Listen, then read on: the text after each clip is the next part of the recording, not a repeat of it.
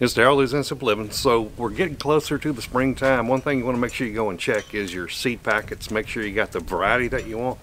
We also want to make sure we take a look at them and see how old they are. In general, the older the seeds get, the less percentage of them will germinate. And when you're looking at the seed packet also, you want to look and make sure there's no moisture or water got on them. You know, a lot of times you may put your seed packets out in the shed. Over time, that moisture can get to it, or maybe it got a little bit of water or rain spilt on it and those seeds were all, if the seed packet's all stuck together, the paper, there's a good chance those seeds have also absorbed that water and maybe started to try to germinate um, and then died out because it dried. So you want to make sure you check those seeds, seed packets for those two things. Make sure it isn't damaged. The seeds are still viable. And according to a study by the Colorado State University Extension, you can kind of divide up seeds into five different categories. And that's the number of years from the year that the seeds were packed. You know, it's, it's going to be on the back of the seed packet. So like after one year, you got the lettuce, onions, parsley. And up to two years, you got your corn, okra, and peppers.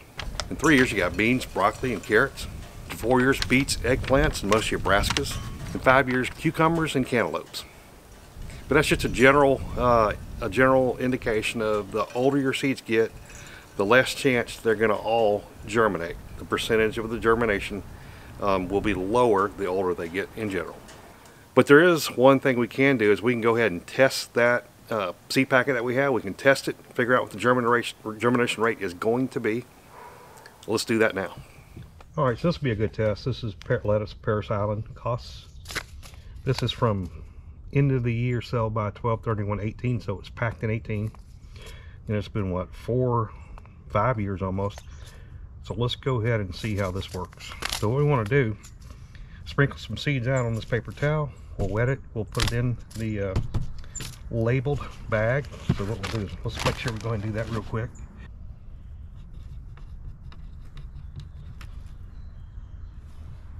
All right, so we got it marked. All right, so I got the paper towel, wringed it out. Somewhere in the middle, you want to take about 10 seeds. This is these little bit tiny lettuce seeds.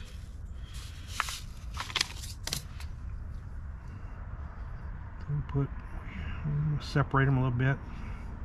Two, three. So now we got these seeds in here. You can kind of see, I got the seeds in there. Now we're going to fold it over.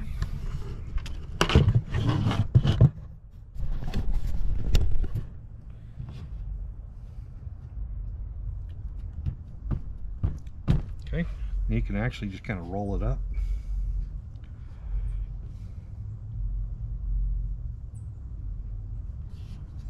Place it in the Ziploc bag.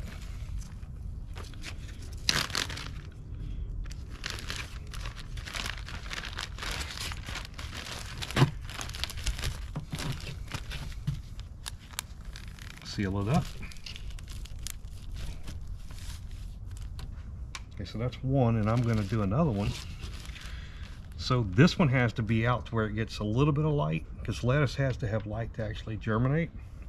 If you find this content useful, do me a favor, subscribe, like that video, share it with your family and friends. Let's get back to the seed germination video.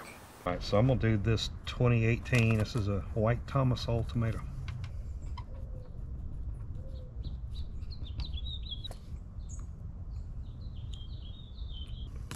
So again, we wet our paper towel, wringed it out. Let's get some seeds. We'll put 10 seeds across here. These are from 2018. So we'll see. They should be good. Yeah, four years. And when I'm talking about the seed packets and getting moisture on them and all that, one thing I want you to be aware of is the seed organization system that I have I'll uh, put a link down to that description. Check it out. You've seen me in, in the videos, those plastic 4x6 cases. It's, it's actually for photographs, but works great for seed packets. Um, check that video out down below. Same thing, you want to fold it over. You can roll it up.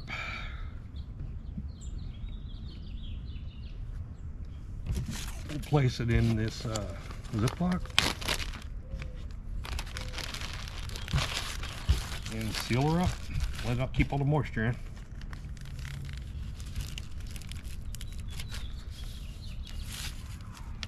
Okay, so what we're going to do with this one, we want to put it in a, a uh, dark location, 65 to 75 degree, so a cabinet or drawer works great.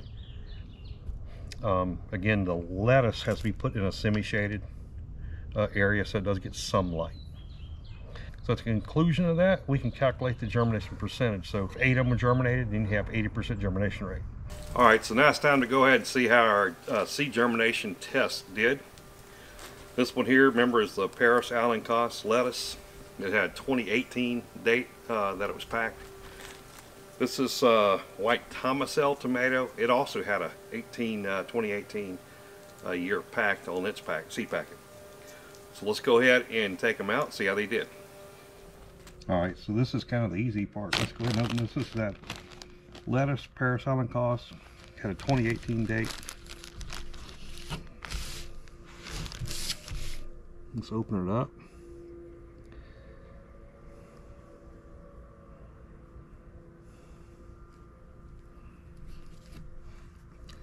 Now the lettuce can take, you know, anywhere from a couple days to um, up to even 10 days. So kind of what I suspected.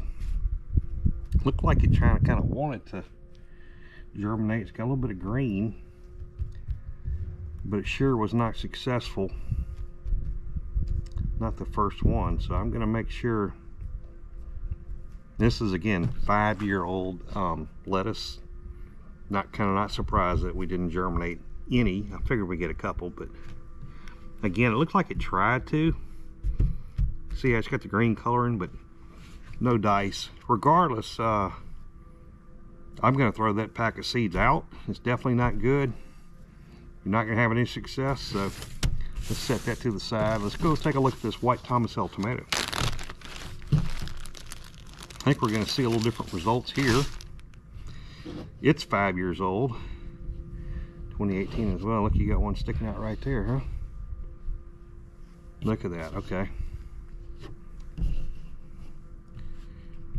So we got one, two, three, four, five, one, two, three, four, five, six, seven, eight, nine, ten. It looks like I got 11 seeds here.